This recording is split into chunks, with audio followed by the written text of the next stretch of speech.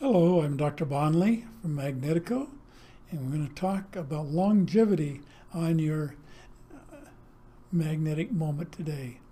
Now, when we first invented the magnetic pad, we were worried because we found that it enhanced all the, the body chemistry. In other words, your metabolism was up, everything was working better, and I thought maybe you just live fast and die young.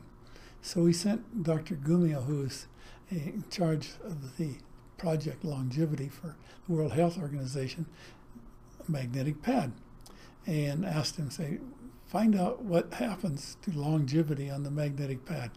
To his amazement, he called back, even wrote me a letter back saying, the insects which he used, because he used 23 different kinds of insects, and he had paired groups. So this is a, a what you'd call a double-blind study.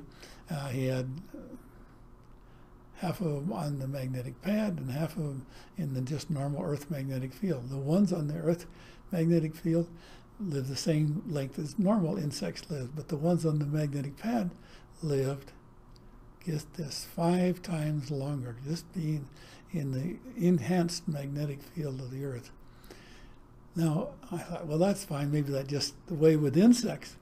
But it isn't the case because we did another experiment using human tissue cultures and they were all uh, connected up with proper nutrition and oxygen and everything. Those cells lived five, pardon me, two and a half times longer than the cells that weren't on the magnetic pad. So I thought, boy, how did this work?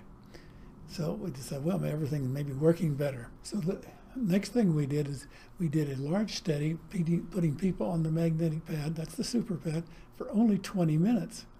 And we found in just 20 minutes, you reduce the free radicals in the body by 9% in 20 minutes.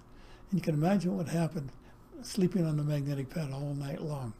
So this is one of the best things you can do to prevent disease and to prevent uh, aging.